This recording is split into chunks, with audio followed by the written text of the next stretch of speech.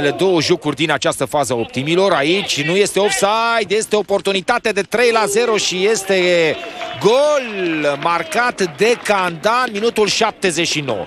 Însă reacția fundașului uh, de la Dunărea Călăraș este ireală, cu ghilimele de rigoare. Un balon pe care impresia este că Marius Leca îl putea respinge. Nu știu ce a fost în capul uh, fundașului uh, de la Dunărea Călăraș. Candaș trece și el numele pe tabela marcatorilor, cumva dorind să mă contrazică puțin pentru absenteismul lui de care vorbeam mai devreme în zona ofensivă. Aici nu este offside.